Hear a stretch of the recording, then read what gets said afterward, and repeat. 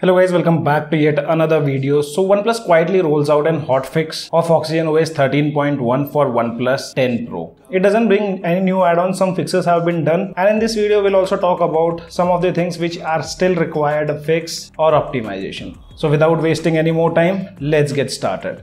So here I have my OnePlus 10 Pro on which I've already installed the latest build of Oxygen OS 13.1. Here you can see and if I show you the Android version under Android version is the same security patch of 5th April 2023 if you go to version here you can see a slight change in the version. Initially it was 13.1.0.520 now it's 521 there are a lot of users who might have not received the OTA update, but you guys can download the file which is given in the description below. Enable local install option. This can be enabled by enabling the developer option, tapping on it and you can select the file. You can see the update size was 117 MB for my OnePlus 10 Pro.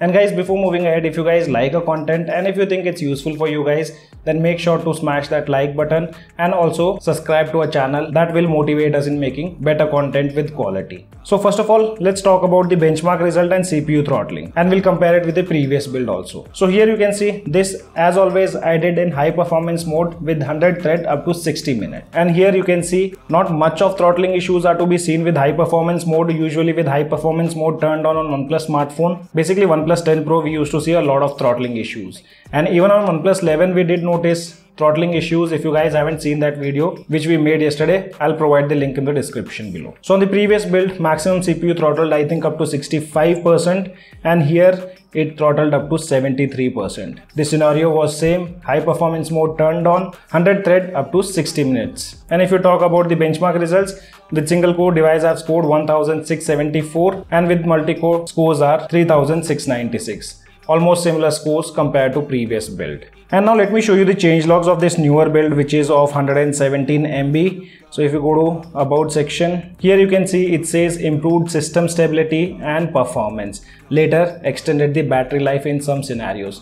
So battery life was a major issue on my OnePlus 10 Pro. As I told you guys, I'll be coming up with a review. So yesterday I created a poll and today I was about to release the review video. But then we got this hotfix update. So I'll take another 2-3 days for testing and I'll come up with the video pretty soon. As I told you guys, battery backup was a major issue. Sometimes I used to get 4 hours of screen on time and sometimes 3 hours 26 minutes. I know my usage, I mostly used to get 4.5 to 5 hours of screen on time on my OnePlus 10 Pro. But with Oxygen OS 13.1 initial build, the battery backup was not that good. Let's see if OnePlus have fixed this thing or not. And can anyone explain me about this auto connect feature which is present on Oxygen OS 13 which was mentioned in the change logs. So I personally wasn't able to find out this feature. Recently I've also got OnePlus pad and in this let me show you we do have an option of auto connect which OnePlus says they did add with Oxygen OS 13 but I personally did not find it.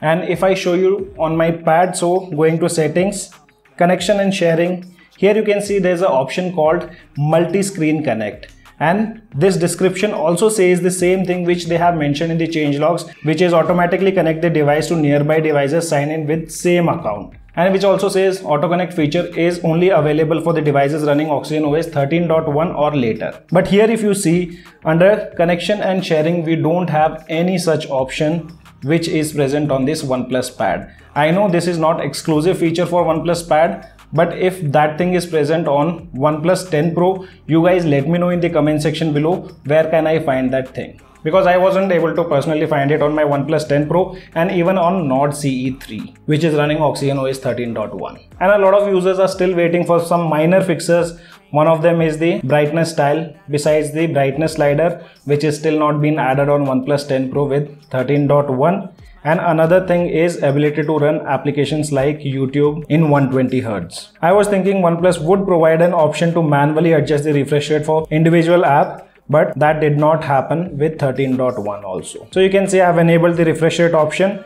And if you go to YouTube you can see clearly it only gives maximum 60 we don't have the support of 120 hertz.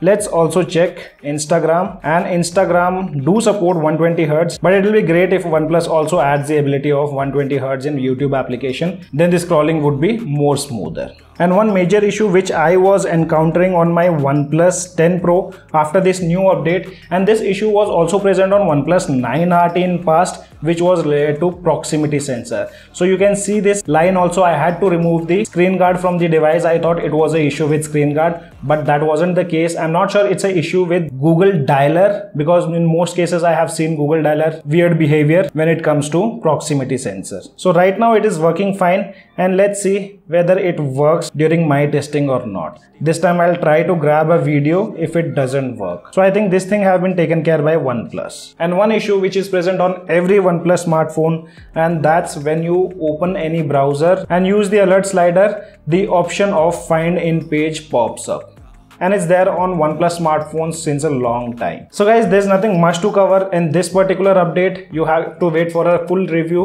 which I'll drop it in a day or two. Again, I have to start testing the device, but I'll try my best to release the review pretty soon. So as of now, only this much in this video, guys. I hope you guys gonna like the video. If you like the video, then do give us a thumbs up. And also, if you're new to our channel, then do not forget to subscribe to our channel. Thanks for watching. Have a great day.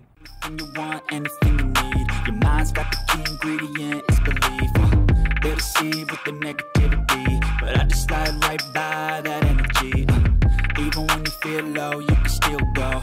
Even when you feel slow, you can still go. Even when there's no hope, you can still go. I never answer to no